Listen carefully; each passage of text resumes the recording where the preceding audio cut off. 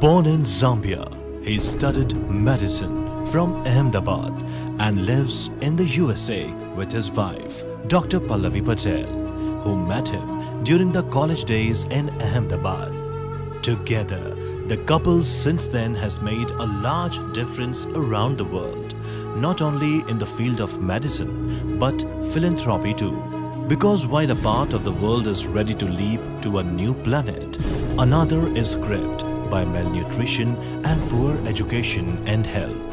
The doctor couple is enrolled in the Global Charitable Endeavours through Shakti Krupa Charitable Trust and the Patel Family Trust in the fields of healthcare, education, cultural enrichment and women's empowerment programs to name a few in India, Zambia and the USA.